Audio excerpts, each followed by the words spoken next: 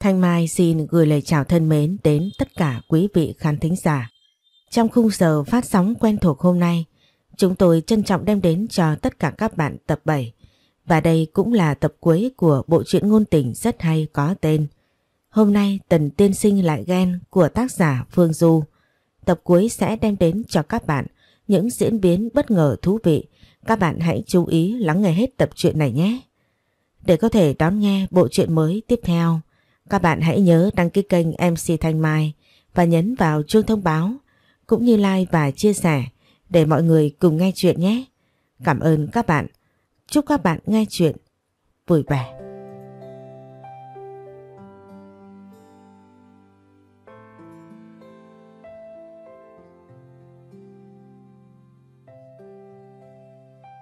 Bữa tiệc ăn mừng đầy tháng của con trai út, Tư Khải không làm lớn lắm, chỉ mời những người thân trong nhà và vài người bạn tới thôi. Trình Nhiễm vừa đến đã được vợ của Nhiếp Minh Duật kéo đi. Có vẻ như từ sau lần đầu gặp mặt trước đây thì mấy người họ đã thân thiết với nhau hơn. Trình Nhiễm, cô thật sự rất giỏi đấy. Thoáng cái mà đã mang song thai rồi. Bụng to như vậy có bất tiện cái gì không? Cũng có chút bất tiện nhưng không nhiều và lại chồng tôi chăm sóc tôi rất tốt.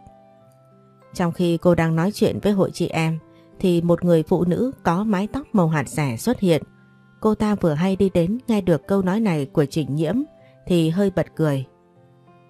Đã bao năm rồi mà anh ấy vẫn chu đáo cẩn thận như ngày nào. Trình Nhiễm thật sự bị lời nói của người phụ nữ này thu hút.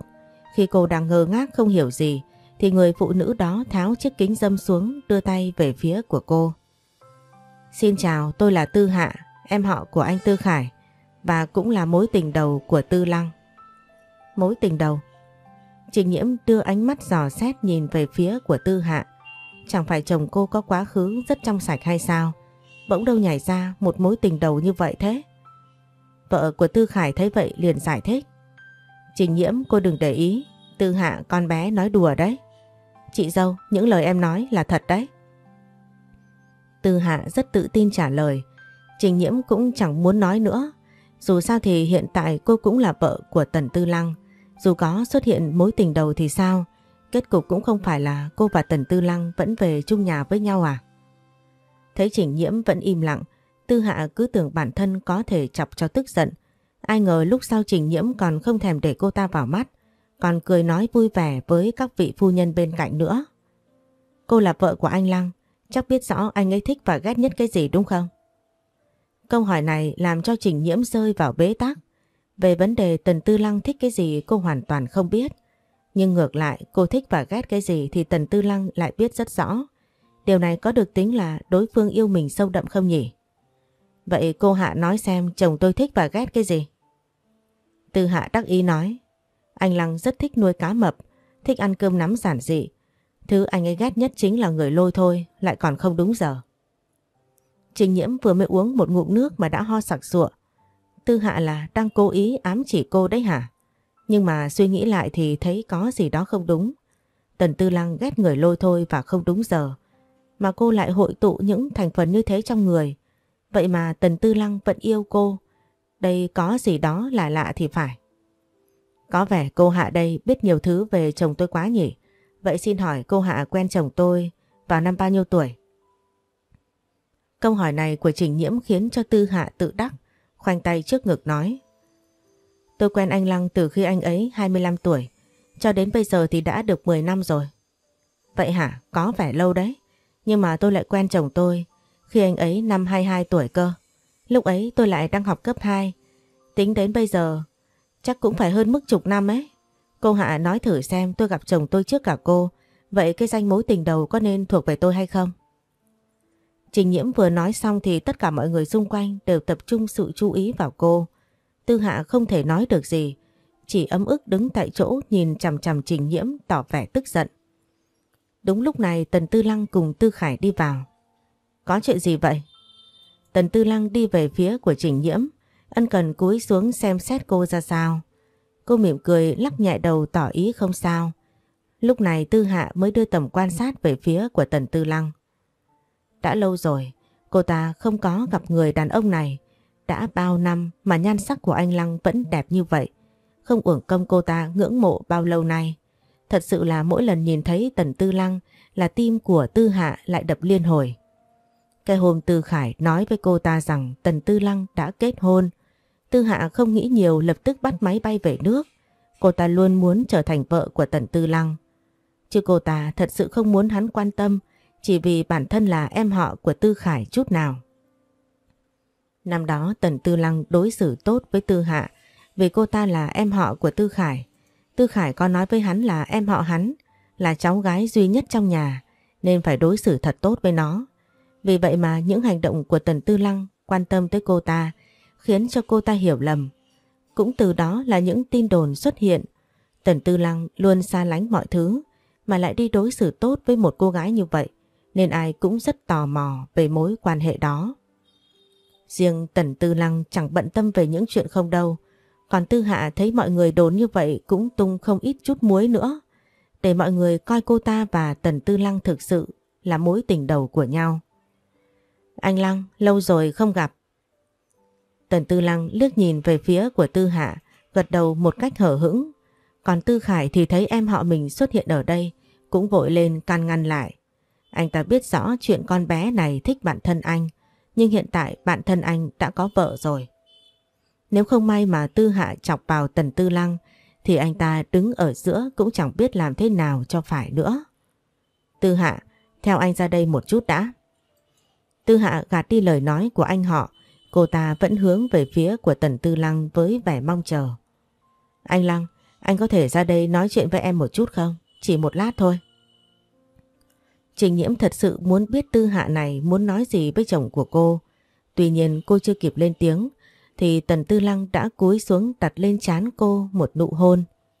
Ở đây đợi anh, anh sẽ quay lại ngay. Anh, đi nhanh về nhanh đấy. Ừ. Thấy Tần Tư Lăng rời đi, Trình Nhiễm cũng không có bất kỳ chút lo lắng nào hiện lên trên mặt.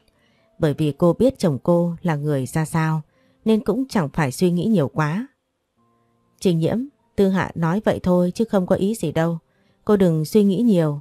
Còn nữa, Tần Tư Lăng đối tốt với Tư Hạ là vì con bé là em họ tôi.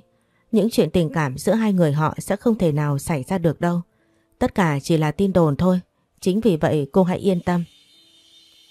Tư Khải nói xong thì ra hiệu cho vợ mình nói chuyện với cô. Trình Nhiễm thừa biết hai vợ chồng nhà này có ý tốt muốn tâm trạng của cô khá lên. Vì thế cô cũng cho qua chuyện này mà nói chủ đề khác, hùa theo ý vợ của Tư Khải.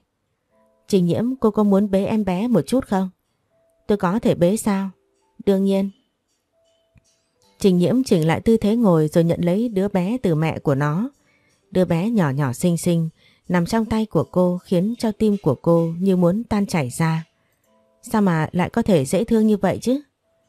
Trình nhiễm, cô thấy con trai nhỏ của tôi ra sao? Rất dễ thương. Cứ thế này tôi cũng muốn đẻ nhanh để cưng nựng hai nhóc nhà tôi. Vậy cô có muốn nhận con trai của tôi làm con rể tương lai không? Ý của tôi là chúng ta ước hẹn cho con trai tôi và con gái của cô. Vợ của Tư Khải vừa nói xong thì vợ của Nhiếp Minh Duật đã cắt ngang. Thế là không được nha, Trình Nhiễm. Cô xem con trai tôi năm nay mới có 3 tuổi. So với bé gái trong bụng của cô hơn có mấy tuổi thôi. Cô có thể xem xét nhận con trai tôi, làm con rể cũng được. Với vợ của Trần Gia Thành lại nói xen vào. Tôi thì cũng dễ tính lắm. Con gái của tôi mới được một tuổi thôi. Cô cũng có thể xem nhận con gái tôi, cho con trai cô cũng được. Gì đây? Mọi người là đang muốn tranh giành nhận dâu rể hay cục cưng trong bụng cô rồi sao? Cuộc tranh giành giữa các vị phu nhân bây giờ mới tiếp tục. Thực ra bọn họ nhắm trúng con trai và con gái của Trình Nhiễm là vì ngoại hình của Tần Tư Lăng và Trình Nhiễm rất đẹp. Con của hai người sinh ra cũng thừa hưởng không ít thì nhiều. Và lại với sự trợ giúp thế lực của nhà họ Tần thì sau này là dâu hay rể đi chăng nữa thì họ cũng rất yên tâm. Tần Tư Lăng, Trần Gia Thành, Tư Khải và Nhiếp Minh Duật là bạn thân nên con của bọn họ mà lấy nhau thì mối quan hệ lại càng khăng khít hơn. Trước những câu hỏi dồn dập của các vị phu nhân, Trình Nhiễm chỉ còn cách cười trừ. Cô thật sự không dám nhận hôn ước quá sớm như thế. Cô muốn sau này hai cục cưng của cô sẽ tự mình lựa chọn hạnh phúc của mình. Thực ra Trình Nhiễm theo chủ nghĩa tự do tân tiến nên cô không quá hà khắc trong việc ép con mình phải yêu đương theo sự sắp đặt. Sau này chỉ cần con của cô yêu ai thật lòng thì cô sẽ gật đầu chấp nhận ủng hộ mối quan hệ đó ngay. Đấy là suy nghĩ của cô, còn Tần Tư Lăng thì cô lại không biết. Mong sao đến lúc đó, hắn đừng có mà lại nổi cái tính cổ quái là được. Bên phía chỉnh nhiễm thì nhộn nhịp như vậy, còn phía của Tần Tư Lăng bên này thì vô cùng yên lặng. Tư Hạ hẹn Tần Tư Lăng ra phía hồ nước lớn nói chuyện. Khung cảnh nơi đây vào buổi tối khá đẹp. Những ánh đèn chiếu xuống hồ hòa quyện với ánh sáng lung linh của ánh trăng tạo nên một khung cảnh vô cùng lãng mạn. Tuy nhiên tất cả những thứ này trong mắt của Tần Tư Lăng chẳng có nghĩa lý gì khi không có chỉnh nhiễm. Trần Gia Thành thường nói với Tần Tư Lăng cuồng vợ quá, nhưng sự thật chính là như vậy. Hắn không những cuồng trình nhiễm mà còn dường như đội cô luôn ở trên đầu rồi. Chính vì yêu cô quá nên hắn thường có cái suy nghĩ rất sợ mất đi cô. Tư Hạ đứng trước mặt của Tần Tư Lăng, cô ta hít một hơi sâu rồi nói ra hết tâm tư. Anh Lăng, thật ra em thích anh rất nhiều. Thích anh từ 10 năm trước khi chúng ta mới gặp nhau. Em biết bây giờ em nói ra thì đã quá muộn, anh cũng đã lấy vợ rồi. Nhưng không sao, em có thể chờ anh. Bao lâu em cũng chờ được. Tư Hạ không tin là Trình Nhiễm thật lòng yêu Tần Tư Lăng. Ngay cả những gì hắn thích cô đều không biết. Vậy mà lấy lý do gì mà cô ta không thể cạnh tranh công bằng cùng với cô được. Tâm trạng của Tần Tư Lăng hiện tại cực kỳ không vui một chút nào cả. Trước đây hắn đối xử tốt với Tư Hạ cũng vì bạn thân của hắn bảo hắn làm như vậy. Bây giờ thì hay rồi, Tư Hạ không những từ bi còn đem đến cho hắn một đống phiền phức. Tóm lại, chuyện này hắn sẽ phải nói luôn với Tư Khải mới được. Tư Hạ, tôi không có ý định ly hôn với vợ, nên cô từ bỏ đi. Nhưng mà em thật sự yêu anh mà. Tại sao lúc trước anh đối xử với em khác biệt như vậy chứ? Vì cô là em họ của Tư Khải. Câu nói của Tần Tư Lăng đủ để cho Tư Hạ cảm thấy vô cùng bị tổn thương. Cô ta muốn tiến đến ôm lấy hắn, nhưng Tần Tư Lăng đời nào có thể chấp nhận được chuyện này cơ chứ. Hắn lùi lại về phía sau, né tránh cái ôm ấp của Tư Hạ. Điều này lại khiến cho Tư Hạ cảm thấy ủy khuất vô cùng. Tư Lăng, em thua kém cô ta cái gì mà anh lại chọn cô ta? Sao có thể như vậy được? Đơn giản vì tôi yêu cô ấy hơn cô, thế thôi. Cần gì mấy cái lý do phiền phức, làm gì chứ? Nói đến đây, Tần Tư Lăng nhanh chóng quay người rời đi, bỏ lại Tư Hạ ở đấy chỉ biết khóc vì đau lòng. Thật ra Tần Tư Lăng trời sinh chẳng có chút tâm lý nào, nên việc hắn làm với phụ nữ thì chẳng khác gì đối xử với đàn ông. Trong mắt hắn, hiện tại ngoại trừ trình nhiễm ra, thì tất cả mọi người đối với hắn đều như nhau cả. Vì điều này nên trình nhiễm thường gọi hắn là đầu đất không cảm xúc. Khi Tần Tư Lăng quay lại thì thấy Trình Nhiễm đang nói chuyện vui vẻ với các vị phu nhân. Hắn cũng không vội, đứng ở gần đó đợi cô nói xong rồi tiến đến đưa cô về trước. Tần Tư Lăng, hôm nay là tiệc đầy tháng của con tôi đấy. Sao cậu lại có thể ích kỷ đưa vợ cậu về sớm như vậy? Tư Khải cảm thấy rất phiền não bởi cái con người này. Rõ ràng vợ hắn đang nói chuyện vui vẻ với Trình Nhiễm mà. Bỗng dưng lại bị tên này phá đám. Tần Tư Lăng chỉ quét mắt qua, hạ giọng cảnh cáo Tư Khải. Đừng tưởng tôi không biết vợ chồng cậu âm mưu cái gì, định kết thông gia với tôi, mơ đi. Này, tôi cũng chỉ nghĩ đến tương lai của chúng ta thôi. Cậu có thấy bạn trẻ hợp nhau không? Con tôi chưa ra đời, tôi thấy chưa hợp. Tần Tư Lăng nói đến đây thì dứt khoát đỡ Trình Nhiễm ra xe luôn. Tư Khải chỉ có thể đứng đó mà thở dài. Thật đúng là anh ta đang định nhân cơ hội này nhắm con gái của Tần Tư Lăng. Vậy mà thôi không sao. Đợi khi nào Trình Nhiễm sinh xong anh ta và vợ lại tiếp tục gợi ý đến vấn đề này. Vợ chồng nhà Nhiếp Minh Duật và Trần Gia Thành cũng đang nhắm chúng con của Tần Tư Lăng và Trình Nhiễm. Anh ta phải đi trước hai người kia một bước mới được, bắt buộc phải kết thông ra với Tần Tư Lăng. Ngồi vào trong xe, Tần Tư Lăng giúp Trình Nhiễm thắt lại dây an toàn, sau đó lấy từ trong túi ra đưa cho cô một hộp quà nhỏ đưa cho cô. Trình Nhiễm nhận lấy hộp quà mở ra thì Tần Tư Lăng đã đạp chân ga cho xe chạy đi rồi. Anh, đây là ý gì đây? Sao bỗng dưng lại tặng em quà thế? Hai hôm nữa là sinh nhật của em. Trình nhiễm kinh ngạc đưa mắt nhìn chằm chằm Tần Tư Lăng. Vậy mà hắn lại có thể nhớ rõ sinh nhật của cô. Dạo này cô chỉ chăm chăm ăn uống đầy đủ để hai cục cưng khỏe mạnh mà quên mất cả ngày sinh nhật của mình. Đúng là có chồng vẫn tốt. Cô quên cái gì thì ông xã của cô liền giúp cô nhớ ra. Tư Lăng, em mới phát hiện ra một chuyện. Chuyện gì? Em càng ngày càng yêu anh hơn đó nha. Tần Tư Lăng nghe xong thì bật cười. Trình nhiễm nhòi người về phía của hắn, rồi đặt lên má hắn một nụ hôn. Cả hai người sắp làm ba làm mẹ rồi, mà mối quan hệ không những bền chặt mà còn hạnh phúc hơn. Ngay khi Trình Nhiễm mở hộp ra cầm lấy sợi dây chuyền được khắc tên của cô lên xem. Đột nhiên có một chiếc xe ô tô tải từ đâu lao đến trước đầu xe của hai người. Tần Tư Lăng thấy tình hình rất xấu, liền vội bẻ tay lái rồi để xe đâm vào rào chắn bên đường. Trước khi xe bị tông, hắn vẫn không quên nghiêng người sang ôm lấy Trình Nhiễm vào lòng, lấy thân mình bao bọc cơ thể của cô. Bên tai của Trình Nhiễm xuất hiện một tiếng rầm dữ dội. Sau cú đâm, cũng may xe của Tần Tư Lăng tự động kích hoạt chế độ bảo vệ nên hai người không bị thương. Tuy nhiên chiếc xe tải kia sau khi cố tình đâm vào xe của Tần Tư Lăng thì đột nhiên dừng lại. Tần Tư Lăng đoán ra đây không phải là vô tình mà là có kẻ nào đó cố ý. Trình nhiễm nhanh xuống xe đi theo anh. Tần Tư Lăng vừa thúc giục cô vừa mở ngăn kéo lấy ra một khẩu súng và một con dao đút vào túi. Xe bị hỏng, bọn họ chỉ còn cách tạm thời trốn trước. Bọn chúng là ai thế? Anh không biết, bọn chúng có lẽ muốn đuổi cùng giết tận chúng ta. Không sao, có anh ở đây, đừng sợ. Trình nhiễm gật đầu rồi cùng Tần Tư Lăng xuống xe. Hắn nắm tay cô chạy vào trong rừng. Nhưng mà do bụng to nên Trình nhiễm không thể chạy được lâu. Cô thở dốc, dừng lại ở một gốc cây lớn. Phía dưới của cô đột nhiên co thắt lại một cái. Sau đó Trình Nhiễm ôm lấy bụng phát đau, ngồi bẹp xuống đất. Em sao thế? Cả người của Trình Nhiễm run lên, trên trán bắt đầu lấm tấm mồ hôi. Cô nắm chặt lấy tay của Tần Tư Lăng thở dốc. Em, hình như sắp sinh rồi, em đau bụng quá. Tần Tư Lăng cầm lấy tay của Trình Nhiễm, sau đó kéo cô đứng dậy. Hắn muốn nhanh chóng dẫn cô ra khỏi đây trước. Tuy nhiên, phía dưới của Trình Nhiễm chảy ra một dòng nước. Có vẻ như cô sắp sinh thật rồi. Nước ối đã bị vỡ.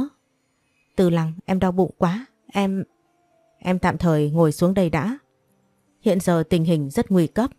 Mà Trình Nhiễm bắt đầu nhận thấy từng cơn đau dồn dập ập đến. Tại sao lại là lúc này chứ? Rõ ràng lịch là tháng sau cô mới sinh mà. Hai cục cưng nóng lòng ra ngoài không phải lúc rồi. Nghe anh, em cố gắng một chút, anh sẽ quay lại ngay, cố gắng một chút thôi. Nói rồi Tần Tư Lăng lập tức lấy điện thoại ra liên lạc với Tư Khải. Trần Gia Thành và Nhiếp Minh Duật, nhưng hắn gọi mãi mà không nhận được trả lời. Cuối cùng Tần Tư Lăng đành gửi cho họ một tin nhắn. Bên kia vang lên một tiếng súng, mà với hoàn cảnh này thì Tần Tư Lăng không thể nào để cho bọn người kia phát hiện ra chỉnh nhiễm ở đây được. Hắn rút súng ra rồi chạy về phía trước. Còn trình nhiễm ở lại, xung quanh toàn cây với cây quá tối. Cô bây giờ hiểu được cái cảm giác như muốn chết đi sống lại rồi. Hai hàng nước mắt cứ thế chảy ra. Cơ thể cô lúc này như muốn tê dại, mồ hôi ướt đẫm cả áo. Trong sự vô thức, Trình Nhiễm lại nhớ đến những lời của cô giáo dạy trước khi sinh. Chính vì thế cô đã cởi áo khoác ra, đặt xuống đất. Giờ này không còn cách nào khác nữa rồi. Cô buộc phải liều mà sinh hai đứa nhóc ra mà thôi. Cũng may, trong lúc Trình Nhiễm bắt đầu thì Tần Tư Lăng vừa hay quay lại. Có điều cả người hắn xuất hiện rất nhiều vết thương. Máu đỏ dường như thấm đẫm cả chiếc áo sơ mi trắng trên người. Tần Tư Lăng mở đèn flash từ điện thoại, nhờ đó lấy ánh sáng để xem qua Trình Nhiễm ra sao. Nhiễm nhiễm, nghe anh này, em vẫn nhớ những bài học mà cô giáo dạy trước khi sinh đúng không? Bây giờ chúng ta sẽ làm. Không được đâu, em chết mất, em...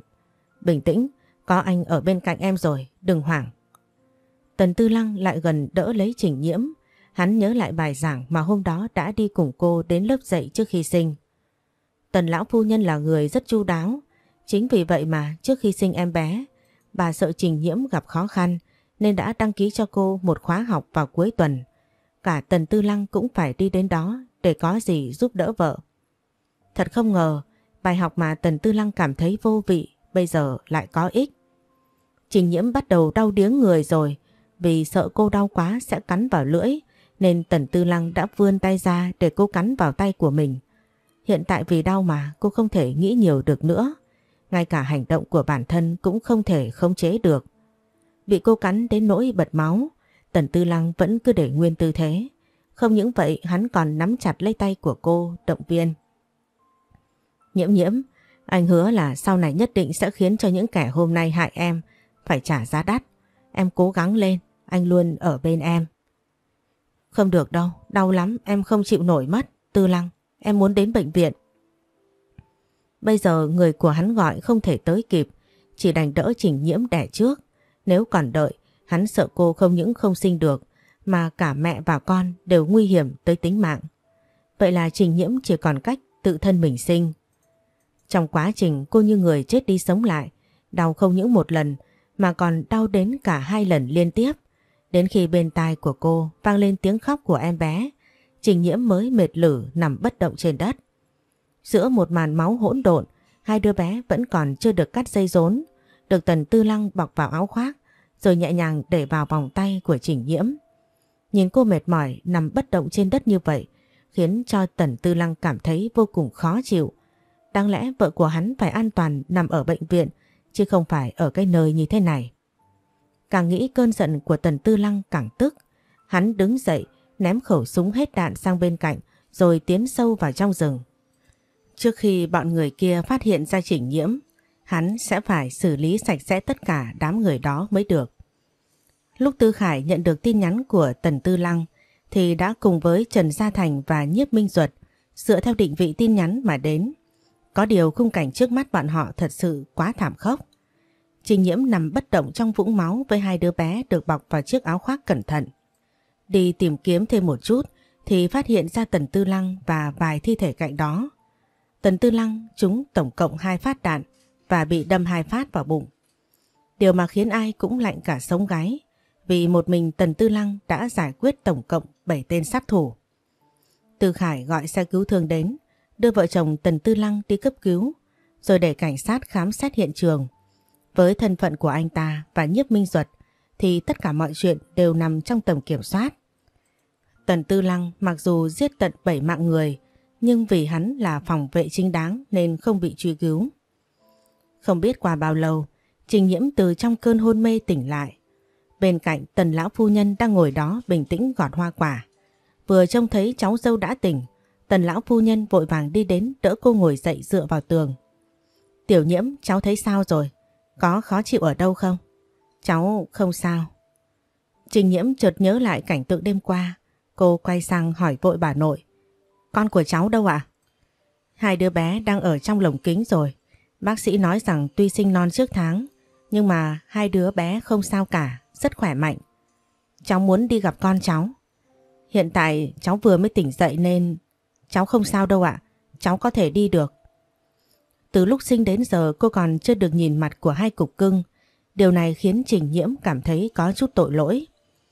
Mặc kệ lời khuyên ngăn của bà nội, cô vẫn cố xuống giường bước từng bước khập khiễng đi xem hai cục cưng của cô ra sao. Bà nội thấy cô cố chấp như vậy cũng chỉ đành thuận theo dẫn đường cho cô. Đứng từ bên ngoài cửa kính lớn, Trình Nhiễm nhìn chằm chằm vào hai chiếc vòng kính bên trong phòng. Trước mặt cô là hai thiên thần nhỏ đáng yêu. Con trai cô có vẻ rất giống Tần Tư Lăng, không hề động đậy hay cựa quậy, chỉ nằm đó nhắm mắt ngủ ngon lành. Còn bé gái thì liên tục đạp đạp chân, thỉnh thoảng kêu lên vài tiếng rồi lại thôi. Tần lão phu nhân đứng đó nhìn mà cũng thấy rất vui. Bác sĩ nói họ không biết ai là anh, ai là chị, chỉ có Tư Lăng đỡ đẻ giúp cháu mới biết thôi. À Tư Lăng anh ấy đâu rồi bà? Cháu muốn gặp anh ấy.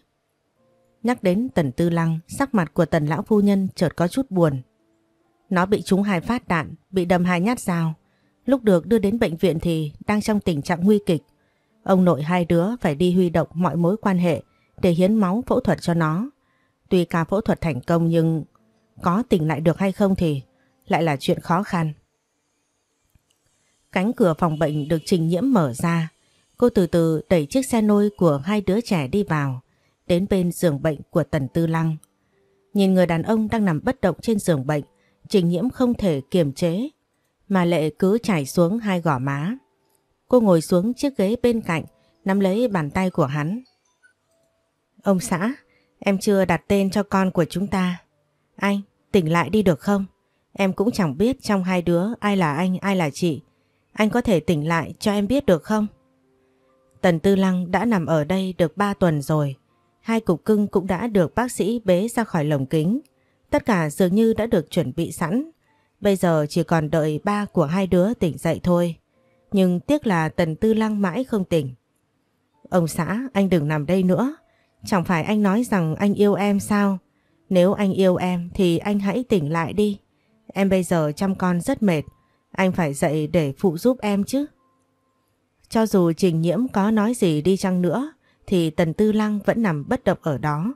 Trái tim của cô lúc này như thắt lại rất đau. Dường như con trai nhận thấy cô đang khóc, nên cựa quậy cũng bật khóc theo. Trình Nhiễm vội vàng cúi xuống ôm lấy con lên dỗ. Cô biết đợi đến bao giờ đây. Tần Tư Lăng mà không tỉnh lại chắc cô sẽ không thể chịu nổi mất. Nửa ngày hôm đó Trình Nhiễm ở lại phòng bệnh của Tần Tư Lăng trò chuyện với hắn.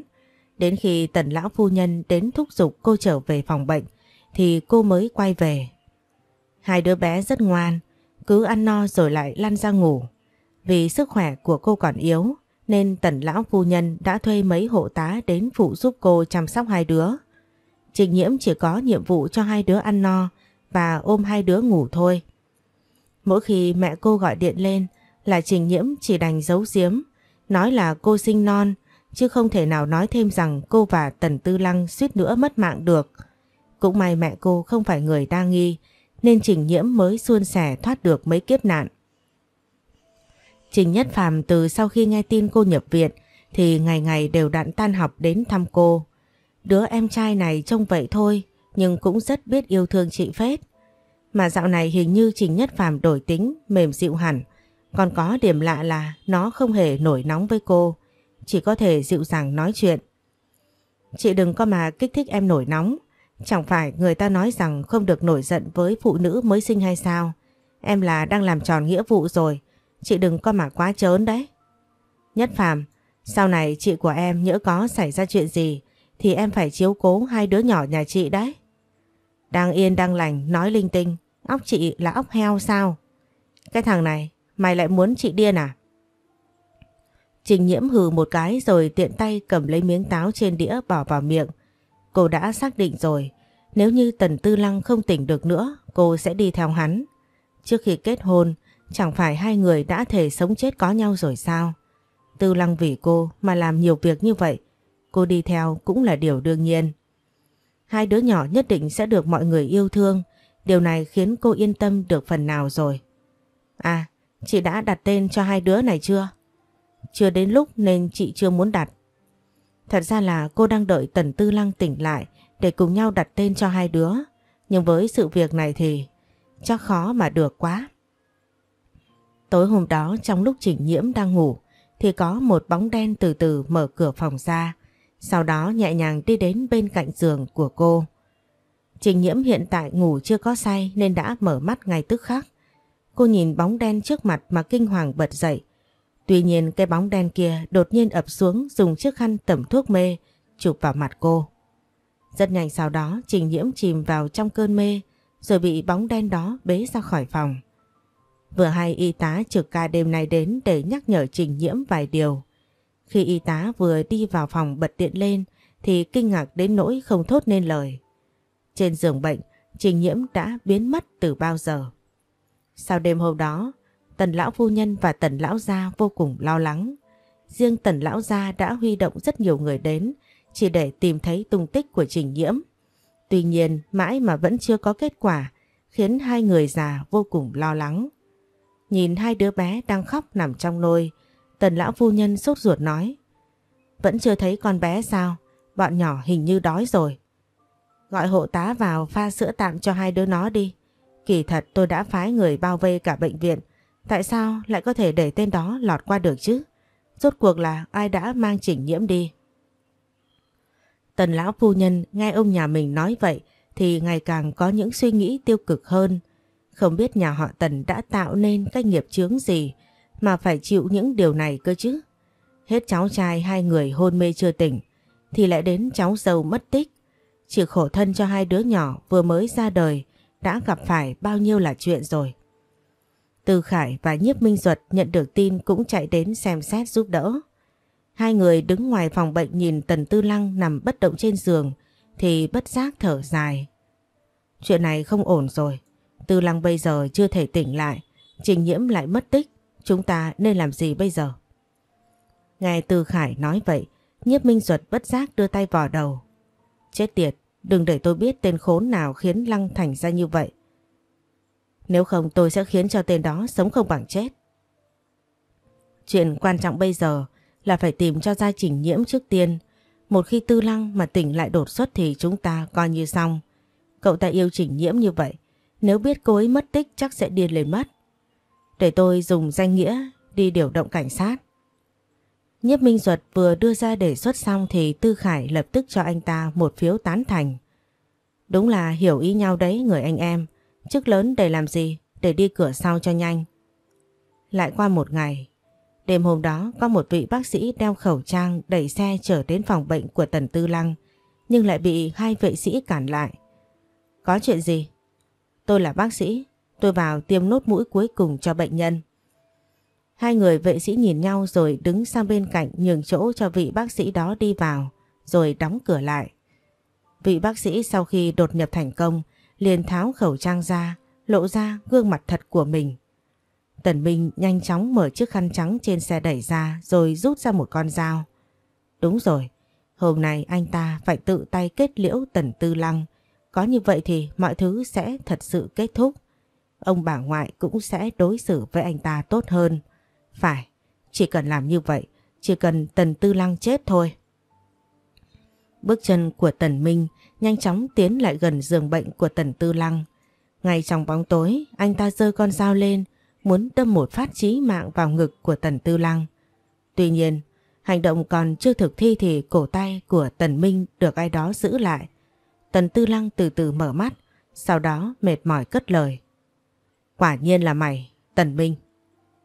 Tần Tư Lăng vừa dứt lời thì đèn điện trong phòng lập tức vụt sáng lên. Không chỉ tần lão già và tần lão phu nhân xuất hiện, mà còn có rất nhiều người khác. Cảnh sát cũng bao vây kín lối đi. Con dao trên tay của tần Minh bị chết trụ rơi xuống. Anh ta không thể ngờ rằng tần Tư Lăng lại có thể tỉnh lại. Điều mà tần Minh muốn làm nhất là cố gắng đi giải thích cho ông bà ngoại hiểu. Tuy nhiên tần lão ra đi đến, chỉ có sự tức giận trong mắt mà giáng cho tần Minh một cái bạt tai rõ kêu. Từ giờ mày không là cháu tao nữa. Vì biết mày là cháu ngoại sẽ bị chịu thiệt thòi. Chính vì thế mà tao đã cố gắng bù đắp cho mày những điều tốt nhất. Nhưng tao lại không thể ngờ được mày lại có thể hãm hại cháu nội và cháu dâu tao. Tần Minh, mày... Lúc này Tư Khải đi đến đỡ lấy Tần Tư Lăng ngồi dậy. Nhớ lại hồi chiều nay, khi anh ta và Nhiếp Minh Duật đang nói chuyện ở trong phòng, thì Tần Tư Lăng lù lù xuất hiện phía sau. Kết quả Tư Khải suýt chút nữa bị hủ phát ngất. Mặc dù đã tỉnh lại, nhưng mà sức khỏe của Tần Tư Lăng rất yếu. Đặc biệt khi hắn nghe thấy tin Trình Nhiễm mất tích, thì lại càng kích động hơn. Cả buổi chiều đó, hắn đã cùng Tư Khải và Nhiếp Minh Duật bàn bạc kế hoạch để gài bẫy Tần Minh. Hắn biết với bản tính của Tần Minh thì nhất định sẽ không tha cho hắn.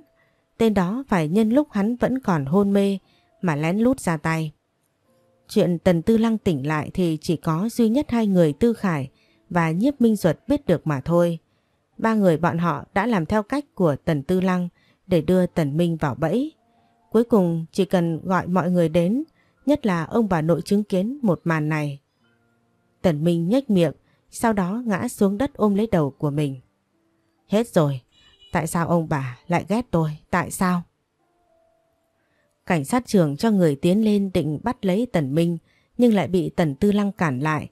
Hắn khập khiễng đi về phía của Tần Minh sau đó túm lấy cổ của tên đó. Trình nhiễm đâu? Mày đã mang cô ấy đi đâu rồi?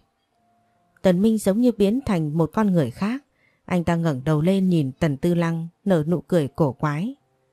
Trình nhiễm, giờ này mà mày còn muốn gặp lại cô ấy sao? Trình nhiễm là của tao, nghe chưa? Là của tao. Nói, cô ấy đang ở đâu? Tần Tư Lăng, Mày cứ đợi nhận lấy xác của cô ấy đi. Mày sẽ mất đi cô ấy. Cô ấy sẽ chết. Sẽ chết. Cô ấy là của tao. Từng lời của Tần Minh hoàn toàn kích động Tần Tư Lăng. Hắn không kiềm chế được mà giáng cho Tần Minh một cú đấm. Tư Khải thấy vậy thì vội vàng kéo Tần Lư Lăng lại. Còn Tần Minh ngã xuống đất nhưng vẫn cười một cách điên dại. Cảnh sát đành lôi anh ta dậy, dẫn về đồn thẩm vấn. Tần Tư Lăng không thể moi được thông tin của Trình Nhiễm thì thật sự tức tối. Tần lão phu nhân trông thấy cảnh hai đứa cháu của mình tương tàn thì gục xuống vai của tần lão ra mà khóc.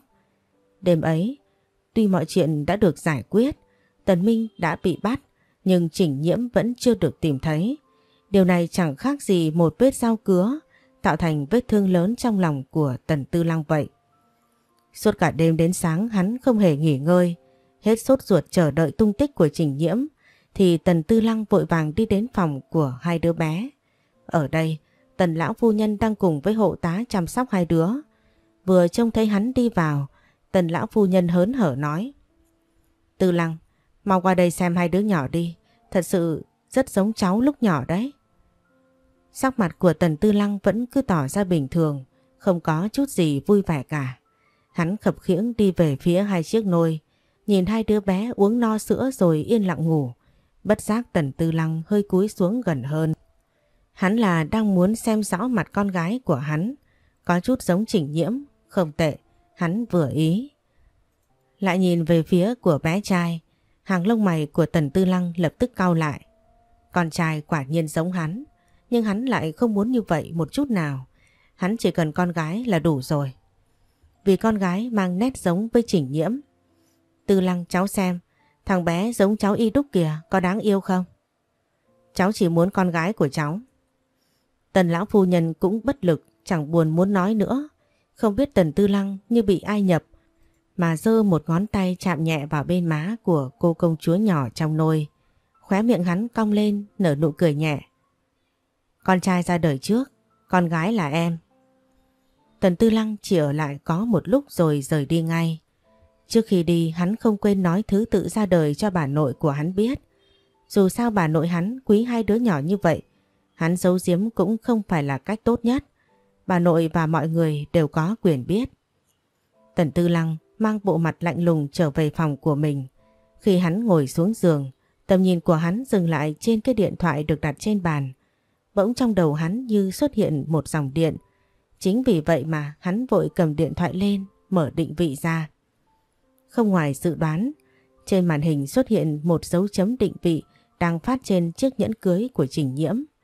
Đúng rồi, hắn suýt quên là bản thân có cải định vị trên nhẫn của cô. Như vậy mỗi lần hắn chỉ cần mở máy ra là có thể biết cô đang ở đâu rồi. Nghĩ đến đây, Tần Tư Lăng nhanh chóng tìm kiếm vị trí hiện tại của Trình Nhiễm. Điều làm cho hắn bất ngờ là vị trí lại hiện ở trên sân thượng của bệnh viện. Tần Tư Lăng nửa tin nửa ngờ nhưng vẫn quyết định đi lên sân thượng xem sao. Một tay hắn cầm điện thoại, một tay ấn nút thang máy đi lên tầng cao nhất. Ngay khi cánh cửa lớn được mở ra, một luồng gió mạnh thổi vào mặt của Tần Tư Lăng. Hắn không để ý mà nhanh chóng vừa cầm điện thoại vừa tiến về phía trước. Khi đi đến trước một tấm khăn lớn, Tần Tư Lăng lập tức kéo dây, gỡ tấm khăn lớn kia khiến nó rơi xuống đất.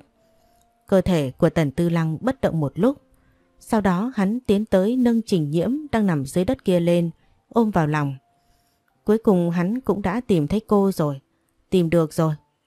Có vẻ như trình nhiễm bị trúng một lượng lớn thuốc mê nên cô vẫn không hề hay biết gì. Mãi lúc lâu sau, Tần Tư Lăng cố gắng gọi cô dậy thì Trình Nhiễm mới từ từ mở mắt. Tần Tư Lăng vui đến nỗi siết vòng tay ôm cô chặt hơn. Nhiễm nhiễm anh tìm được em rồi. Anh cứ lo lắng rằng em gặp chuyện. Thật sự anh rất sợ. Tư Lăng, anh đây. Trình nhiễm thấy đầu óc của mình bây giờ rất choáng. Không những vậy cô còn không hiểu chuyện gì đang xảy ra nữa. Tư Lăng chẳng phải đang nằm hôn mê trên giường sao? Hay là cô đang mơ để an ủi bản thân? Để chứng minh cảnh trước mắt mình có phải là giấc mơ hay không, Trình Nhiễm đã giữ lấy hai bên má của Tần Tư Lăng mà đặt lên môi hắn một nụ hôn. Cảm giác ấm ấm và mềm mềm này khiến cô xác định được không phải mơ. Trình Nhiễm vui đến mức chảy nước mắt. Tần Tư Lăng nắm lấy tay của Trình Nhiễm, tiếp theo đặt lên đó một nụ hôn đầy chân thành. Có lẽ trong mắt em anh chưa từng là người chồng hoàn hảo, nhưng anh sẽ cố gắng trở thành một người chồng thật tốt. Trình Nhiễm để em phải chờ rồi, thực sự xin lỗi em. Tư Lăng em cũng yêu anh, yêu rất nhiều. Cô đã gặp gỡ Tần Tư Lăng rất lâu, hai người đã trải qua bao nhiêu chuyện. Hôn lễ có biến, lại còn tuần trăng mật bị hỏng. Tất cả mọi chuyện giống như là ý của ông trời vậy, muốn cho hai người bên nhau, nhận ra được tình cảm của nhau mà cố gắng vượt qua. Có lẽ sau tất cả những gì Trình Nhiễm và Tần Tư Lăng trải qua, cuối cùng cũng kết thúc thật rồi. Em vui vì có anh bên cạnh. Anh hạnh phúc vì gặp được em. Tần Tư Lăng mặc dù đi lại vẫn chưa được thuận tiện lắm, nhưng mà hắn vẫn đang cố gắng đỡ lấy Trình Nhiễm dìu cô đi xuống. Tư Lăng, anh gặp con của chúng ta chưa? Rồi, em chưa đặt tên cho con, em đang đợi anh để cùng đặt đấy. Sao cũng được, em đặt kiểu gì anh cũng hài lòng. Anh chẳng có chính kiến gì cả. Dù sao anh vẫn chưa hoàn toàn chấp nhận hai cục nợ đó đâu. Này, con em không phải cục nợ. Đôi vợ chồng lại có vẻ trở về khoảng thời gian hạnh phúc như trước đây rồi. Có thể nói cả gia đình của Trình Nhiễm đã phải ở bệnh viện nguyên cả tháng. Khi Tần Tư Lăng xuất viện cũng là lúc cô và hai đứa nhóc mới được về nhà. Sau bao ngày tháng cô cũng có thể thoát khỏi cái nơi tù túng với bốn bức tường rồi. Thật sự Trình Nhiễm muốn khóc cũng chẳng ra nước mắt nữa. Tư Lăng, chúng ta còn chưa đặt tên cho hai đứa nhóc nữa. Anh nghĩ ra tên gì chưa? Đang nằm trên giường đọc báo, Tần Tư Lăng đưa mắt liếc nhìn về phía cây nôi của hai cục nợ kia mà tiện mồm nói. Con trai tên Tần Nợ, con gái tên Tần Mướn. Cái tên này hắn cảm thấy khá ổn và đúng hoàn cảnh. Thật không ngờ Trình Nhiễm vừa nghe xong thì nổi điên cầm cái gối ném thẳng vào mặt của Tần Tư Lăng. Vậy là chiến dịch đặt tên cho hai đứa bé vẫn là để cô tự thực thi còn hơn. Có cái ông bố nào lại hành xử như Tần Tư Lăng không chứ? Thật đúng là muốn làm cho người ta điên lên hắn mới chịu được. Khổ thân hai cục cưng của cô sinh ra phải làm con của tên đầu đất này quá. Từ hôm đó Trình Nhiễm đã mở hết sách vở và lên mạng tìm kiếm những cái tên hay và ý nghĩa cho hai cục cưng. Ngay cả tần lão phu nhân và tần lão gia cũng rất bận rộn, cả ngày tìm kiếm phụ giúp cô chọn tên hay. Hôm ấy tần tư lăng đi làm về thì thấy nhà cửa đã xuất hiện một mớ hỗn độn. Không chỉ người giúp việc quản gia mà ông bà nội và vợ của hắn đang ngồi giữa đống giấy tìm tên hay. Tần Tư Lăng thật hết muốn nói nổi. Đang định mặc kệ mấy người này thì đột nhiên có hai tờ giấy bay đến chân của hắn. Tần Tư Lăng thở dài, cúi xuống nhặt hai tờ giấy đấy lên xem. Nhìn hai cái tên được viết trên đó lại khiến hắn nhớ đến mấy món hải sản mà hắn cùng với Trình Nhiễm từng đi ăn. Chính vì vậy mà hắn tiện miệng nói với quản gia. Mai nhờ ông đi làm giấy tờ giúp tôi. Con trai tên Tần Uy Long, con gái tên Tần Hải Ngư. Tất cả đến đây thôi, không cần tìm tên nữa. Uy Long, Hải Ngư. Cuối cùng Trình Nhiễm mới có thể hài lòng với tên này. Cô có hỏi Tần Tư Lăng rằng tại sao lại đặt tên này. Hắn chỉ nói rằng thấy hay nên muốn đặt cho hai đứa bé. Chứ thực ra trong suy nghĩ của Tần Tư Lăng thì hai cái tên này chính là liên quan tới hải sản và biển. Tóm lại dụng ý phía sau chính là vì Trình Nhiễm thích ăn hải sản nên Tần Tư Lăng mới đặt tên hai đứa nhóc như vậy. Thế cũng tốt, còn hơn cái tên nợ và mướn kia. Vì cả nhà phải ở viện hơn cả tháng nên việc lễ đầy tháng của hai đứa bé vẫn chưa được tổ chức. Chính vì như vậy Tần Lão Phu Nhân mới chọn ngày đẹp để tổ chức ngày đầy tháng bù cho hai đứa nhóc. Trình Nhiễm phải công nhận một điều là những nhà giàu thường có cách riêng biệt để tiêu tiền. Tuy đã làm dâu ở Tần Gia tính đến nay cũng được kha khá lâu, nhưng Trình Nhiễm vẫn chưa thể quen được với cuộc sống xa hoa quá mức ở đây. Chỉ là một nghi lễ đơn giản cho hai đứa bé thôi, mà tổ chức hẳn cả một bữa tiệc lớn. Không những vậy còn mời rất nhiều khách quý đến. Tuy Trình Nhiễm không cần động tay vào bất cứ cái gì, nhưng mà cô vẫn cảm thấy tất cả quá lố thật.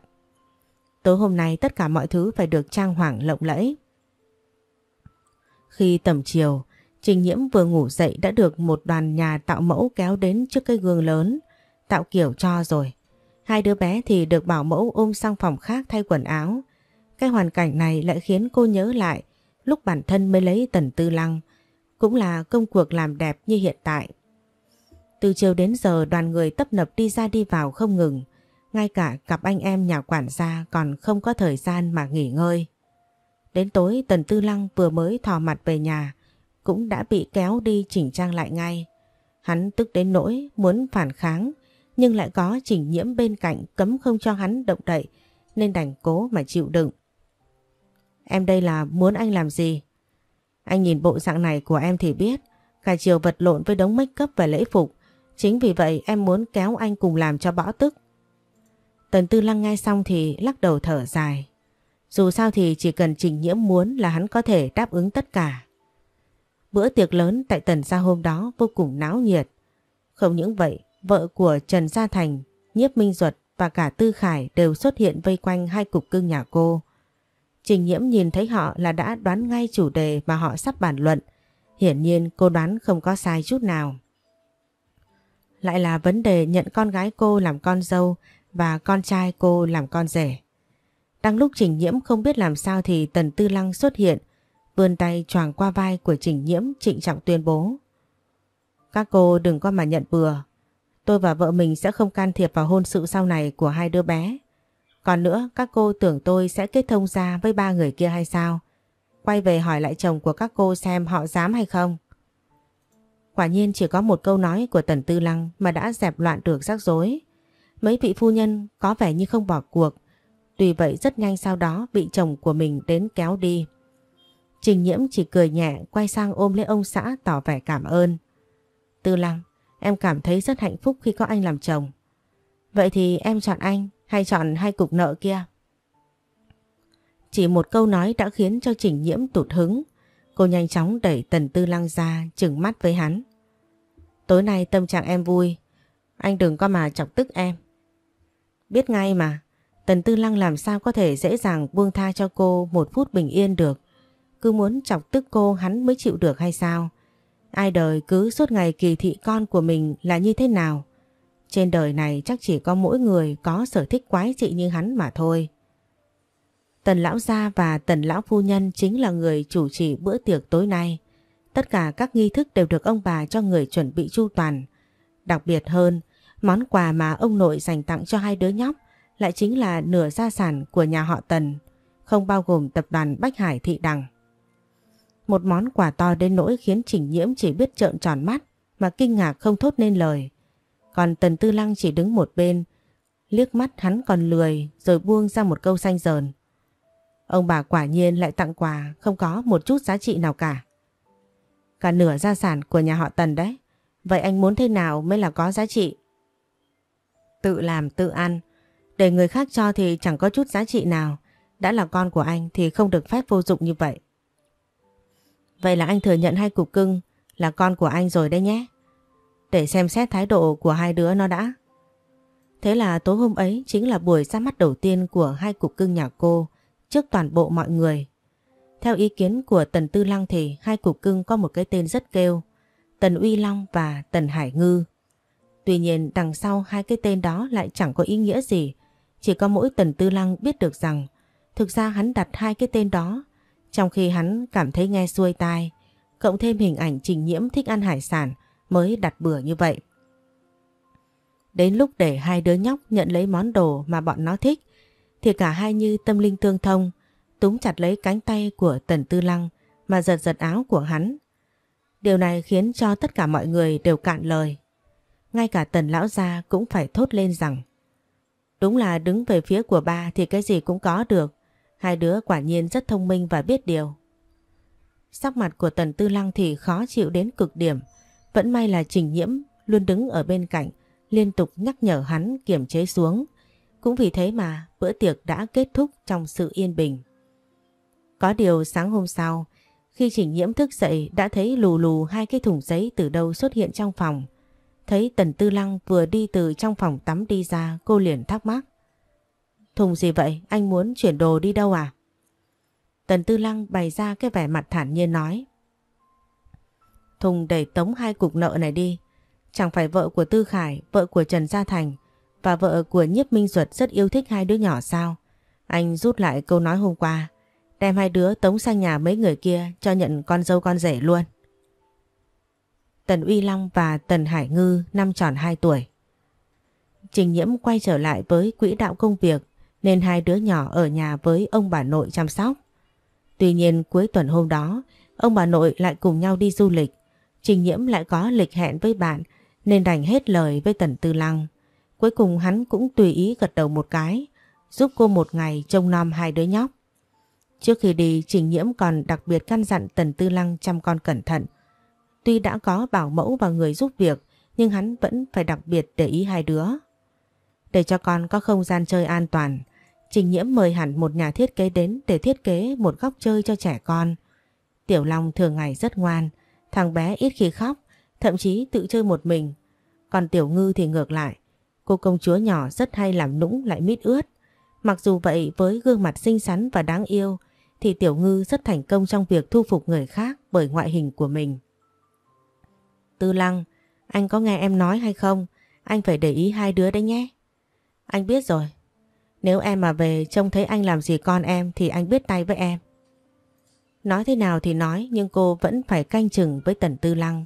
Từ sau bữa tiệc đầy tháng kia thì không dưới trăm lần Tần Tư Lăng muốn tống cổ con của cô đi rồi.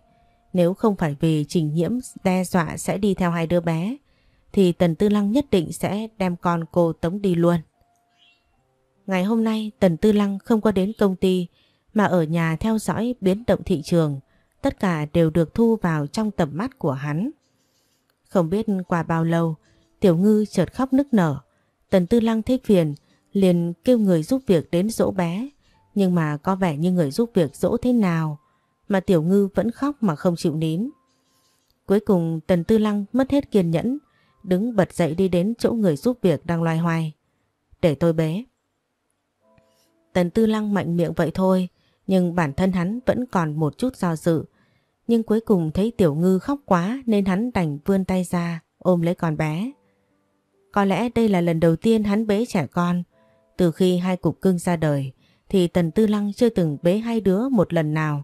Hắn toàn bận việc, đi làm đến tối muộn mới về. Hiếm khi cuối tuần được nghỉ mà hai đứa nhóc lại được trình nhiễm dẫn về quê ngoại chơi. Hôm nay cứ coi như là ngày hắn trọn vẹn ở bên hai đứa đi. Kỳ lạ là Tiểu Ngư từ sau khi được Tần Tư Lăng bế thì lập tức nín khóc hẳn. Con bé uống sữa chưa? Dạ tôi sẽ đi pha ngay ạ. Thấy người giúp việc vội vàng rời đi, Tần Tư Lăng lập tức gọi lại. Mãi lúc sau hắn mới nói ra được. Pha hai bình cho Tiểu Ngư và Tiểu Long nữa, để tôi tự mình cho chung uống. Dạ vâng. Tần Tư Lăng ôm lấy Tiểu Ngư, gương mặt bầu bĩnh trắng nõn đang tựa vào trong ngực của hắn. Kỳ lạ là hắn không hề khó chịu với con bé. Chắc con bé có gương mặt khá giống với Trình Nhiễm nên hắn mới thấy vậy. Tiểu Ngư giơ ngón tay nhỏ xinh chọc chọc vào trước ngực của Tần Tư Lăng, sau đó cười khanh khách thích thú. Cười gì chứ, bà vẫn chưa hết giận chuyện con hay bú mà cắn mẹ đâu. Tiểu Ngư không hiểu gì mà lại cười lớn. Lúc này Tần Tư Lăng nhìn xuống Tiểu Long, thấy thằng bé dương đôi mắt to tròn ngước lên nhìn hắn, hai tay giang ra, ý cũng muốn hắn bế lên. Muốn ba bế lên sao? Tiểu Long ê a vài cái rồi liên tục đập đập tay. Chẳng hiểu sao Tần Tư Lăng nghĩ gì mà lại cúi xuống ôm nốt Tiểu Long lên rồi hướng về chỗ làm việc đi đến. Lúc này người giúp việc đem hai bình sữa mới pha tới. Tần Tư Lăng nhận lấy rồi hai tay cho Tiểu Ngư và Tiểu Long uống sữa. Cũng may là hai đứa trẻ này rất biết nghe lời, ngoan ngoãn uống một mạch hết bình sữa. Tần Tư Lăng để ý thấy tốc độ uống của Tiểu Long nhanh hơn Tiểu Ngư hẳn một phút. Điều này lại khiến hắn hài lòng. Con trai là phải như vậy. Sau này nếu ra ngoài nhất định phải bảo vệ em gái nghe chưa? Không bảo vệ được thì xuống làm em đi, đừng làm anh nữa. Nếu Trình Nhiễm có mặt ở đây lúc này chắc cô sẽ bị Tần Tư Lăng chọc cho tức cười mất. Hắn cứ nói chuyện với hai đứa nhóc mà trong khi hai đứa nhóc không có hiểu gì. Uống no càng sữa, Tiểu Long và Tiểu Ngư phính cái bụng lên, nằm yên trên tay của Tần Tư Lăng. Thấy có chút buồn chán, Tần Tư Lăng liền mở máy tính lên, tiếp sau đó đặt hai đứa nhóc lên đùi, tận tình chỉ dạy phương thức kinh doanh về sự biến động chứng khoán. Anh em nhà quản gia đứng gần đó cũng cạn lời chẳng muốn nói. Tiểu Long và Tiểu Ngư mới có 2 tuổi thôi. Có nhất thiết phải dậy sớm thế không? Nhưng mà quản gia cũng không ngờ là hai đứa nhóc thật sự ngồi yên nghe Tần Tư Lăng nói. Hắn nói xong một câu, Tiểu Ngư ê a một cái, còn Tiểu Long thì dán mắt vào từng con số đang chạy liên tục trên màn hình. Đây là cách tối ưu mà chúng ta sử dụng trong dự án này, hai đứa hiểu không? Hiển nhiên là không biết gì rồi. Tần Tư Lăng giảng bài xong một lượt cũng đã đến gần trưa. Bên ngoài trời rất đẹp lại không có chút nắng nào. Chính vì vậy mà hắn quyết định ôm hai đứa nhóc lên ô tô đi hóng gió. Một ngày của ba bố con yên bình như vậy. Chơi chán thì trở về. Tần Tư Lăng tiếp tục giảng cho hai đứa nhóc nghe bài toán kinh doanh. Đến tầm 10 giờ tối thì Trình Nhiễm mới trở về. Cả ngày hôm nay cô đi trong lòng cứ thấp thỏm không yên. Chẳng biết Tần Tư Lăng chăm con ra sao rồi. Có dọa cho hai đứa nhóc khóc nhặng lên không nữa. Ngoài dự đoán của Trình Nhiễm, khi cô trở về thì tất cả mọi thứ đều bình yên. Quản gia đang sắp xếp mọi thứ. Người giúp việc thì đang lau dọn sạch sẽ. Quản gia, Tư Lăng và hai đứa nhỏ đâu rồi? Tiên sinh đang du ngủ hai đứa nhóc trên tầng. Phu nhân đã ăn tối chưa để tôi kêu người giúp việc dọn lên cho cô? Tôi ăn rồi. Trình nhiễm vội vàng chạy lên tầng. Khi cô mở cửa đi vào phòng ngủ thì thấy một khung cảnh vô cùng ấm áp. Tần Tư Lăng nằm nhắm mắt, hai tay hai bên là hai đứa nhóc đang giúp vào lòng hắn, ngủ một cách ngon lành. Bất giác khóe miệng của Trình Nhiễm hơi cong lên, cuối cùng hòn đá đè nặng trong lòng cô cũng được gỡ bỏ xuống. Tần Tư Lăng thật sự là một người ba tốt. Cô nhẹ nhàng đi đến bên giường giúp ba người kia đắp lại chăn, rồi chỉnh nhiệt độ điều hòa cao lên một chút cho đỡ lạnh. Đúng lúc này Tần Tư Lăng mở mắt, tuy nhiên hắn vẫn phải nằm bất động ở đó vì hai đứa nhóc đang đè lên hai tay của hắn. Em về rồi sao? Em đã cố gắng để về sớm nhưng mà không được. Ừ, mau đi tắm rửa rồi ăn cơm đi. Trình nhiễm quay lại, cúi xuống đặt lên trán của Tần Tư Lăng một nụ hôn cô nói. Ông xã, em rút lại lời nói trước đây, anh là một người ba tốt. Em không biết lời nói của anh ra sao, nhưng em chỉ cần nhìn hành động là biết anh không nỡ bỏ rơi con của chúng ta rồi. Cuộc sống của Trình Nhiễm và Tần Tư Lăng chưa bao giờ lại yên bình như vậy. Hai cục cưng càng lớn càng khiến cô thập phần vui vẻ. Tuy nhiên điều cô lo lắng lại chính là sự ít nói của Tiểu Long và sự lạnh lùng của Tiểu Ngư. Thật sự là hai đứa nó càng ngày càng có biểu hiện giống hệt với tính cách của Tần Tư Lăng. Nhiều lúc Trình nghiễm cứ suy nghĩ vu vơ rằng, liệu hai đứa con của cô có trở nên giống với Tần Tư Lăng hay không nữa. Nếu giống về ngoại hình thì cô không nói làm gì. Hai đứa mà được thừa hưởng tính cách của Tần Tư Lăng thì quá là tuyệt vời. Nhưng lại đi giống đặc tính cổ quái của hắn thì cô không thể nào mà chấp nhận được. Hai đứa năm nay đã đi học tiểu học rồi mà rất ít nói. Thậm chí đi về đứa nào đứa nấy như vào khuôn khổ trong quân đội mà lại lao đầu vào học luôn. Trình nhiễm nhiều lần than vãn với Tần Tư Lăng nhưng chẳng ăn thua gì cả. Con nhà người ta 2 tuổi đã biết nói, thậm chí còn phát triển hết tất cả. Đây con nhà mình thì lên tiểu học mới nói được. Tính cách thì lại hướng nội, không thích chơi hay chạy nhảy như mấy đứa trẻ ngoài kia. Được cả anh và em đều chỉ chăm chăm vào quyển sách mà học.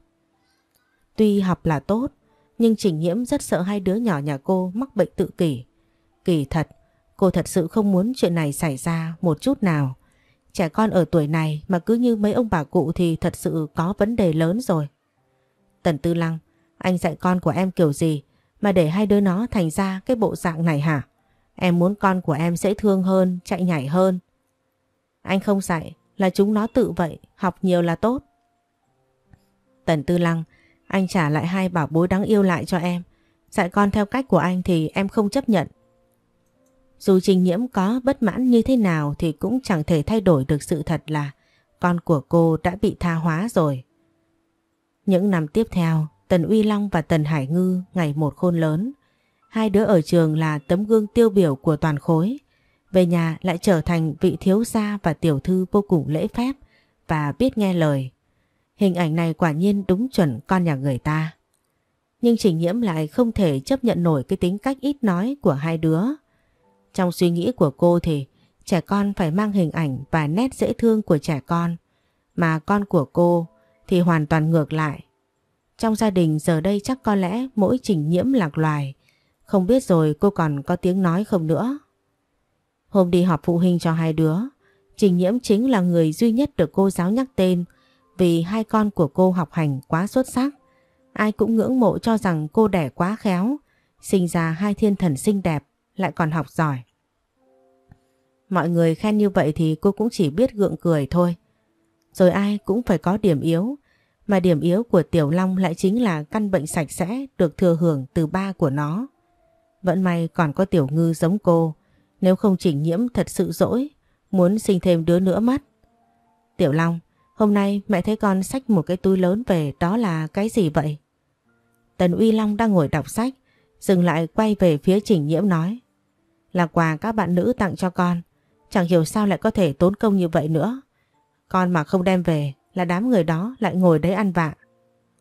Con trai cô thật đúng là có số đào hoa. Đúng lúc này Tiểu Ngư từ trên tầng đi xuống, Trình Nhiễm định lên tiếng muốn rủ con gái đi mua sắm.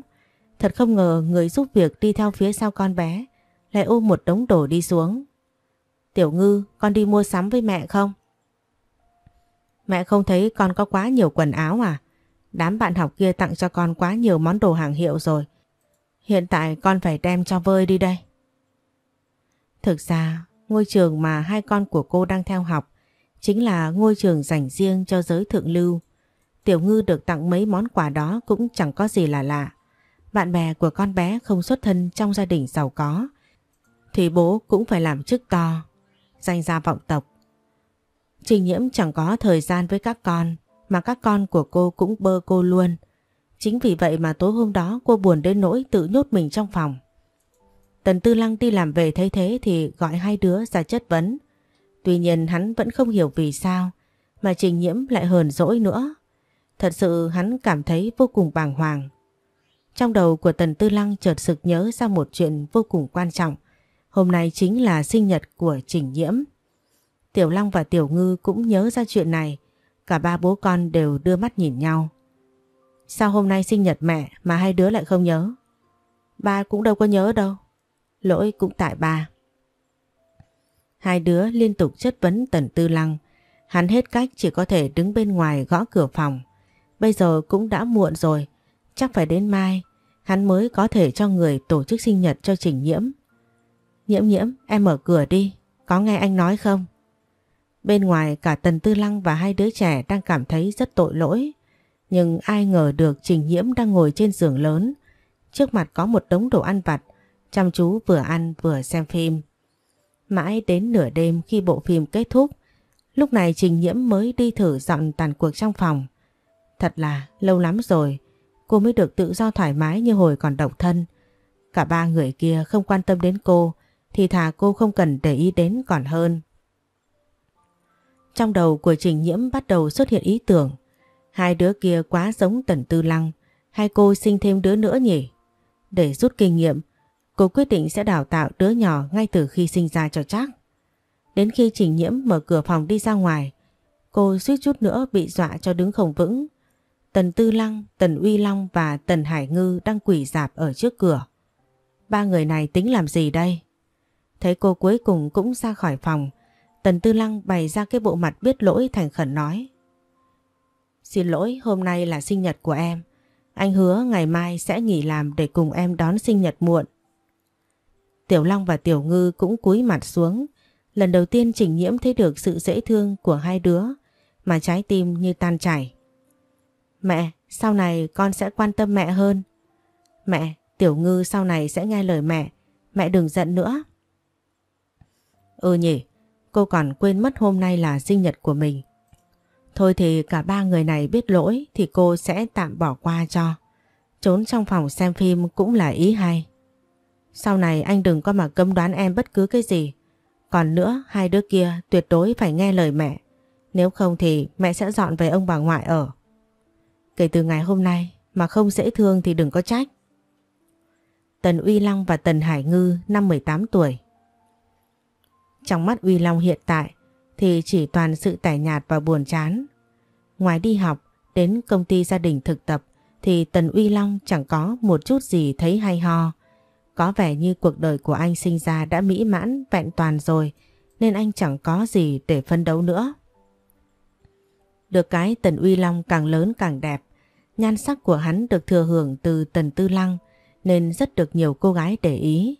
Ngay từ cấp 1 đến cấp 2, cấp 3 rồi bước chân lên đại học. Không biết Tần Uy Long đã được nhận quà bao nhiêu lần nữa, chắc không thể đếm xuể. Ông trời có thể nói là rất công bằng. Chính vì cuộc đời của Tần Uy Long quá hoàn mỹ nên anh mới mắc một căn bệnh được gọi là sạch sẽ nhưng cấp độ nặng. Trước đây Tần Tư Lăng chỉ dừng lại ở việc khử khuẩn nhưng căn bệnh di truyền sang cho Tần Uy Long thì lại thành cấp độ siêu nặng. Cả căn phòng của Tần Uy Long ở không được phép dính chút bụi gì. Người giúp việc sau khi anh ra khỏi nhà thì phải lau dọn không dưới 10 lần. Bệnh nặng đến mức mỗi khi ra khỏi phòng Tần Uy Lăng đều bịt kín khẩu trang, đeo găng tay khử khuẩn và luôn mang theo bình xịt trên người. Tiểu Long ăn sáng rồi hãy đi học, nếu muộn thì mẹ chở đi. Con không muốn đắc tội với ba, mẹ đừng bận tâm. Trình Nhiễm chỉ có thể thở dài nhìn theo bóng dáng của con trai. Tần Tư Lăng đang ngồi trên ghế đọc báo. Có vẻ như hắn đã không ít lần cảnh cáo hai đứa tránh xa Trình Nhiễm. Tư Lăng, đấy là con của em, anh... Lớn rồi tự lo cho bản thân, em đừng quá thân thiết với hai đứa nó như vậy. Trình Nhiễm thật sự cảm thấy rất bất lực, cái con người này cứ ghen tuông vô cớ. Trước đây cô có sự tính muốn sinh thêm một đứa nữa, không biết cô đã lừa Tần Tư Lăng biết bao nhiêu lần, nhưng vẫn bị hắn phát hiện. Cuối cùng hắn đã đến bệnh viện nhờ bác sĩ làm phẫu thuật lại. Như vậy thì Trình Nhiễm có muốn sinh cũng không được. Thôi thì có hai đứa con vẫn được, vẫn may. Tiểu Ngư khi lớn lên bắt đầu hoạt bát trở lại. Con bé đã học cùng với anh trai đến tận năm cấp 3. Sau khi lên đại học, con bé quyết định đăng ký vào ngành du lịch, trong khi Tiểu Long theo kinh tế. Khác với Tiểu Long, Tiểu Ngư ở tuổi 18 đã tự mình đi du lịch rất nhiều nơi. Con bé đặc biệt rất hòa đồng và sống rất tích cực. Chính vì điều này mới khiến cho Trình Nhiễm yên tâm được phần nào. Tiểu Ngư đi du lịch chưa về sao? Con bé nói với em là hôm nay về mà. Chắc do kẹt xe hay gì đó nên mới về muộn thôi. Trình Nhiễm nói xong thì quay trở lại bàn ăn dùng bữa. Tần Tư Lăng đang định đứng dậy đi làm thì điện thoại có một tin nhắn gửi đến cho hắn. Ba, con về muộn xíu nha. Yêu ba. Đọc xong tin nhắn không hiểu sao khóe miệng của Tần Tư Lăng hơi cong lên. Rất nhanh sau đó, hắn liền đi đến bàn ăn rồi cùng vợ dùng bữa sáng. Tần Hải Ngư vừa xuống máy bay. Việc đầu tiên cô làm chính là đến trường trước, sau đó đứng đợi ở cổng. Tần Hải Ngư đưa tay nhìn đồng hồ và đếm ngược. Đến đúng giờ, anh trai cô, Tần Uy Long xuất hiện. Tần Hải Ngư bất ngờ chạy đến muốn ôm lấy anh trai, nhưng lại bị né tránh một cách không thương tiếc. Tần Hải Ngư, tốt nhất là tránh xa anh ra, đừng có hở ra là ôm với cả ôm. Cuộc sống của hai anh em từ nhỏ đến lớn rất là có nhiều chuyện để nói. Kể dụ như năm 3 tuổi, Tần Hải Ngư vì đang tranh giành hạng nhất ở lớp với anh trai nên đã lên kế hoạch suốt ngày bám dính lấy Tần Uy Long. Cô biết anh trai cô mắc bệnh sạch sẽ nghiêm trọng vì vậy mà cứ mỗi lần nhìn thấy Tần Uy Long thò mặt về nhà là Tần Hải Ngư liền lao đến, hết ôm lại cắn khiến cho Tần Uy Long bị sang chấn tâm lý suốt mấy tháng. Cũng vì thế mà Tần Hải Ngư cũng có cơ hội chuyển mình, đạp anh trai xuống mà leo lên hạng nhất. Còn rất nhiều chuyện giờ khóc giờ cười giữa hai anh em khiến cho gà chó trong nhà không yên. Đỉnh cao nhất là lần đó, Trình Nhiễm tức đến nỗi mà tuổi thân bỏ về quê. Tần Tư Lăng vì chuyện đó đã tống cổ hai cục nợ ra ở riêng, mất bao nhiêu ngày tháng thì hắn mới đón được Trình Nhiễm về. Dù sao ở trên cương vị là một người mẹ, Trình Nhiễm vẫn mùi lòng nên đã cho phép đón hai đứa trở về. Sau này hai đứa mà lớn lên sẽ có gia đình riêng, như vậy sẽ ít thời gian dành riêng cho cô hơn. Thôi thì lỡ đẻ rồi thì phải chăm thôi. Anh, em mới đi Pháp về, có mua cho anh một đôi găng tay mới. Tần Uy Long biết rằng cái đứa em này đang muốn chọc mình nên không nói mà cứ thế đi thẳng vào cổng trường. Anh à, chị Thư Hân và chị Lệ Nghi muốn xin số của anh đấy. Vậy nên em đã cho cả hai chị ấy số của anh rồi. Cứ cho đi, lát về anh thay số mới. Chính vì cái con giặc nội gián này mà Tần Uy Long một tuần đổi số một lần. Mỗi lần hắn vừa ngồi vào ghế học bài thì lại có một đống cuộc gọi đến. Thậm chí tin nhắn qua một tối đã xếp đến hàng nghìn cái tin. Tần Uy Long tức đến nỗi không làm gì được. Có thể nói chắc anh phải tu mấy kiếp mới xui xẻo có đứa em này.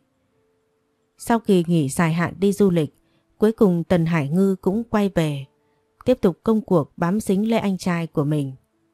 Anh à, anh đẹp như vậy, biết bao giờ em mới được nhìn thấy mặt của chị dâu đây. Cô gái nào lọt vào mắt xanh của anh chắc phải là cố gắng chịu đựng lắm. Em thì biết cái gì? Thật mà, chúng ta suy cho cùng cũng là cùng chung nguồn gốc mà ra. Anh có suy nghĩ như thế nào thì em thừa biết rồi. Nói là được rồi, làm ơn đừng có dí sát cái mặt như vậy. Chị dâu ơi, chị ở đâu? Mau đến hốt ông anh này hộ em đi. Khi Tần Hải Ngư vừa dứt lời, một đám nữ sinh ở gần đó lập tức chạy đến bao vây Tần Hải Ngư. Chị dâu của em thì phải biết quan tâm đến em. Còn nữa không tìm đâu ra người trung tình như anh trai của em đâu. Sạch sẽ cả đời chỉ có một người cha. Tần Hải Ngư cút đi cho khuất mắt anh. Cuộc sống của hai anh em không có buồn chán như Trình Nhiễm đã nghĩ mà ngược lại, có rất nhiều màu sắc. Ngày tháng sau này có lẽ sẽ là rất vui vẻ. Góc khuất của Tần Minh Cánh cửa phòng giam được mở ra. Ngay khi Tần Minh bị bắt hai ngày thì Tần Tư Lăng đã đến gặp mặt hắn. Tần Minh không những phải chịu tội giết người mà còn phải chịu thêm tội danh bắt cóc chỉnh nhiễm. Có vẻ như anh ta phải ở tù dài dài. Tâm lý của Tần Minh rất bất ổn, chính vì vậy mà hắn đã được cấp cho một phòng giam riêng. Tần Tư Lăng mặc dù vừa mới tỉnh lại trong cơn hôn mê chưa được bao lâu, nhưng hắn vẫn cố gắng chống nặng đến trại giam. Một phần vì hắn muốn truyền đạt lời của bà nội cho Tần Minh. Sau khi biết tất cả những việc là của Tần Minh gây ra, thì bà nội quả thực rất không muốn gặp anh ta. Tuy vậy Tần Tư Lăng biết nội tâm của bà vẫn có chút dao động vì bà vẫn luôn cảm thấy chưa làm tròn trách nhiệm với người mẹ đã mất của Tần Minh. Qua một tấm kính lớn, Tần Tư Lăng được quản gia từ từ ngồi xuống ghế. Vài phút sau, Tần Minh được hai cảnh sát dẫn đến. Chỉ có đúng hai ngày sau khi bị bắt mà sắc mặt của Tần Minh tiểu tụy hơn hẳn. Anh ta đỡ đẫn ngồi xuống ghế, còn không thèm ngẩng mặt lên nhìn Tần Tư Lăng. Câu đầu tiên mà anh ta nói chính là, Trình Nhiễm đang ở trên sân thượng bệnh viện, nếu không tìm nhanh, cô ấy sẽ chết. Không biết mấy ngày qua, Tần Minh ở trong tù đã suy nghĩ được những gì. Tần Tư Lăng vốn không tin cái tên này có thể cải tà hoàn lương. Nhưng khi tên này lại chỉ chỗ cho hắn biết Trình Nhiễm đang ở đâu thì Tần Tư Lăng lại có suy nghĩ khác. Tôi đã tìm được cô ấy rồi. Nghe đến đây Tần Minh chợt cười nhạt. Anh ta vẫn chăm chú cúi xuống nhìn chiếc còng tay lạnh lẽo đang bó buộc hai tay của anh ta lại. Hôm ấy sau khi chụp thuốc mê cho Trình Nhiễm Tần Minh rất muốn đưa cô đi. Tuy nhiên Tần Lão Gia lại cho người bao vây cả bệnh viện quá chặt chẽ. Nên Tần Minh chỉ còn cách đưa cô lên sân thượng, đợi khi nào có cơ hội rồi đưa cô đi sau. Không ai có thể nhìn thấy khung cảnh hôm đó, chỉ có Tần Minh biết được anh ta đã thực sự yêu Trình Nhiễm. Hôm anh ta thuê sát thủ truy giết bám theo xe của Tần Tư Lăng thì chính anh ta cũng có mặt tại đó. Trong cơn nóng vội, anh ta đã sai bọn chúng giết hết cả hai người. Nhưng trong lúc Tần Tư Lăng đi xử lý đám sát thủ kia, thì Tần Minh đã tìm thấy được chỗ của Trình Nhiễm. Anh ta chỉ có thể đứng ở gần đó, lặng lẽ nhìn cô đau đớn như chết đi sống lại. Rồi không biết qua bao lâu, Tần Minh thấy Trình Nhiễm như sắp ngất đi. Anh ta thật sự không thể chịu đựng muốn tiến lên, nhưng Tần Tư Lăng đã trở lại cản ngay ý định của Tần Minh. Ở trong hoàn cảnh đó, Tần Minh đã có một suy nghĩ là muốn giết chết Tần Tư Lăng ngay. Tuy nhiên anh ta lại dừng tay lại khi thấy hắn đang cố gắng giúp Trình Nhiễm đỡ đẻ. Mà rồi quỷ khiến thế nào là Tần Minh quyết định quay người đi. Anh ta cũng không muốn Trình Nhiễm phải chết. Trong thâm tâm của anh ta muốn cô sống, thật sự muốn cô sống. Hôm đưa Trình Nhiễm lên sân thượng của bệnh viện, Tần Minh ở trên đó với cô cả ngày. Một mặt anh ta sợ cô xảy ra chuyện gì trong lúc hôn mê. Mặt khác, anh ta biết rằng đây chính là lần cuối cùng gặp mặt Trình Nhiễm. Ý định giết chết Tần Tư Lăng thì Tần Minh cũng đã lường trước được sẽ không thể nào thành công. Anh ta cũng biết tâm lý của anh ta rất méo mó, lại có tình trạng rối loạn nhân cách. Tần Minh chỉ ngồi lặng lặng bên cạnh Trình Nhiễm, thỉnh thoảng anh ta lại giơ tay ra nắm lấy tay của cô. Đến bản thân anh ta cũng chẳng hiểu nổi vì sao lại có thể thích Trình Nhiễm nữa. Chắc vì cô chính là người phụ nữ mà Tần Tư Lăng yêu, hoặc là anh ta lừa dối bản thân bởi vì anh ta đã yêu cô ngay từ cái nhìn đầu tiên. Tần Tư Lăng mặc dù bị bắt, nhưng tôi vẫn không muốn từ bỏ. Trong khi tôi còn đang tỉnh táo nhất tôi muốn nói với anh, đó chính là tôi yêu Trình Nhiễm. Sắc mặt của Tần Tư Lăng sau khi nghe được câu nói này thì lập tức trở nên cao có. Vẫn may là hắn vẫn có thể kiềm chế lại được. Tần Minh nói tiếp. Cô biết vì sao tôi không nỡ mang Trình Nhiễm đi trong khi tôi đã tìm thấy cơ hội để ra khỏi bệnh viện không? Vì trong lúc mê man, cô ấy có gọi tên của anh. Anh biết lúc đó tôi điên thế nào không? Thậm chí tôi còn suýt nữa bóp cổ cô ấy đến chết. Mà cô ấy chết rồi thì cũng tốt, tôi sẽ tự tử theo cô ấy và chúng tôi sẽ mãi mãi bên nhau. Càng nói Tần Minh càng kích động như muốn hét lớn lên để cho Tần Tư Lăng biết vậy. Dù cho là như thế nhưng Tần Tư Lăng vẫn bình tĩnh. Hắn biết tâm lý của Tần Minh không ổn nên hắn cũng chẳng có ý định ở lại đây lâu. Bà có chuyển lời đến cậu một câu. Bà nói rằng cho dù cậu có ra sao thì cũng là con gái của bà sinh ra, là cháu ngoại duy nhất của bà. Vậy nên cố gắng ở trong tù mà suy nghĩ lại đi. Hôm nay Tần Tư Lăng đã từ bệnh viện để đến tận đây chỉ để nói câu này cho Tần Minh biết. Đến khi hắn được quản gia đỡ dậy rời đi rồi mà Tần Minh vẫn ngồi bất động ở đó. Có vẻ như anh ta đang thấy có lỗi, hoặc là đau lòng. Anh ta cũng rất cảm kích bà ngoại. Những câu nói của Tần Minh vừa nói với Tần Tư Lăng chính là sự thật. Chỉ có điều anh ta không phải ra tay bóp cổ của Trình Nhiễm. Nhớ lại lúc ấy nghe cô nói anh ta chỉ thấy đau lòng và thất vọng. Vẫn là anh ta không thể nào ra tay được. Trình Nhiễm không đáng chết. Người đáng hận nhất sau tất cả chỉ có anh ta mà thôi. Rất nhanh Tần Minh được cảnh sát dẫn trở về trại giam, nơi có bốn bức tường lạnh lẽo, hiu quạnh, hệt như cuộc sống tối tăm của anh ta vậy.